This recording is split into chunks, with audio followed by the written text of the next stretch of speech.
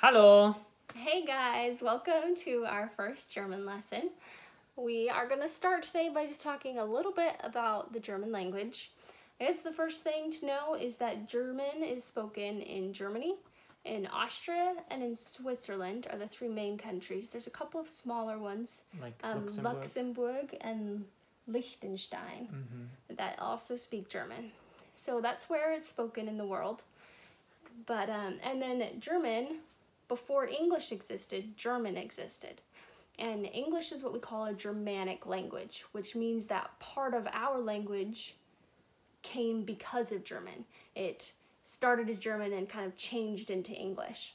And so, although it's not the same, sometimes you'll hear words that will sound the same. And you'll go, I know that word. Not all of them, but some of them. For example, when we just started, Manuel, what did you say? Hallo! hello, which in English is hello. So that's a pretty easy one to recognize. Another one is that in English we say house, and in German the word is, Haus! it sounds the same. They're spelt differently, but it's the same word.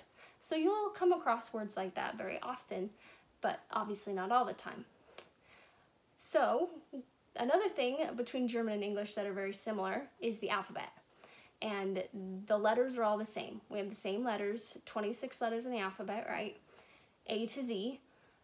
The only thing is they're pronounced a little bit differently. So the first thing we're going to do is we're going to have Manuel teach us how to pronounce or say the names of the German alphabet, the German letters. So he's going to say them and then he's going to pause and let us repeat each letter.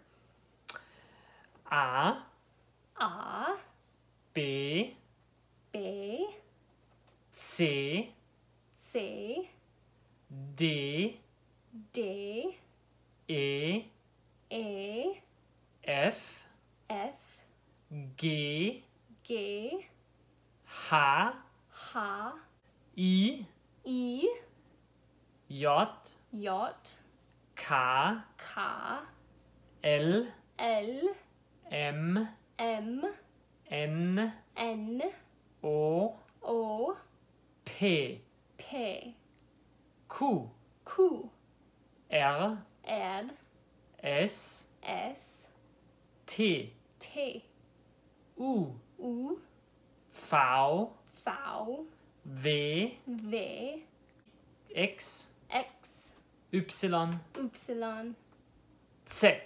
Z. Okay, great. Now you guys can go ahead and pause, rewind, and continue practicing how to do the alphabet.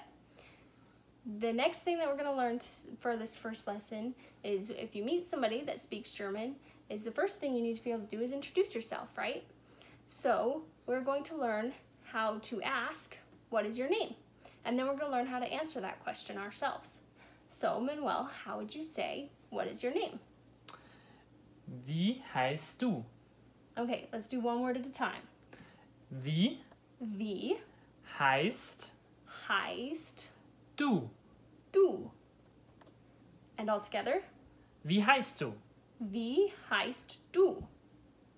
Okay, so in English and in German, it means the same thing, but the words are a little bit different. So in German, literally what you're saying is, how are you called? So wie means how, heißt is to be called, and du is you.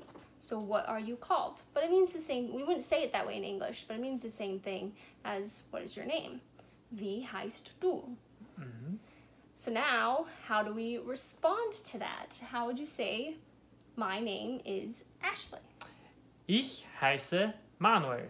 Okay, one word at a time. Ich Ich heiße heiße Manuel. Manuel. Ashley. I'm not Manuel. So now all together. Ich heiße Manuel. Ich heiße Ashley. Now you guys can practice asking and answering that question. I think that's all we have for today.